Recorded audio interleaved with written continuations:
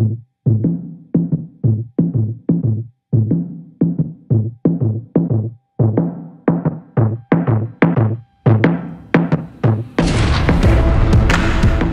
Nissan, the BladeGlider is to demonstrate how we can stretch the possibility of the electric vehicle to show excitement and innovation.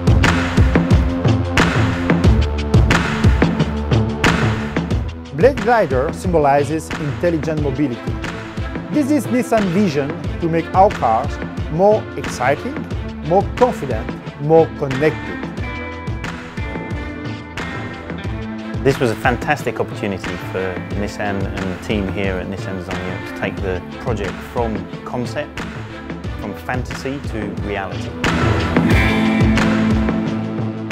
First running prototype. After the positive reaction of the BladeGlider concept car in 2013, we felt that we should continue to explore the potential of a sporty EV. We have been saying to ourselves, this is the EV for car lovers.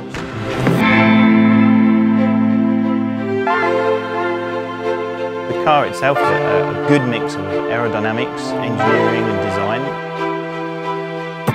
You've got control mechanisms to hand, a very low centre of gravity, 0 to 60 in sub 5 seconds and a top speed of over 190 kilometres an hour.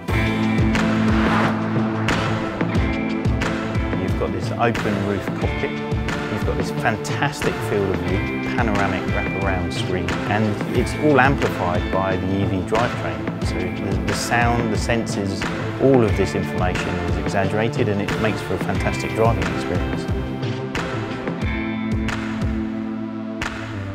This car has a very, very unique proportion, narrow front and rear wide. Basic design vocabulary and design aspect is consistent with the production vehicle.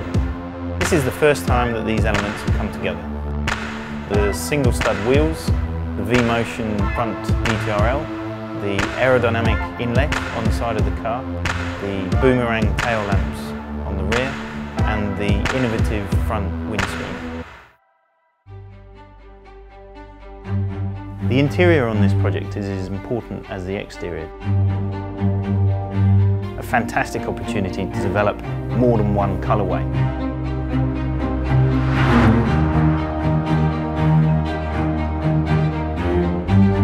The rear view camera, the monitors, and a very simple human machine interface. This could be a future automotive design. BladeGlider captures what we mean when we talk about Nissan Intelligent Mobility. And with this, Nissan is writing the rulebook on the future of high-performance EVs.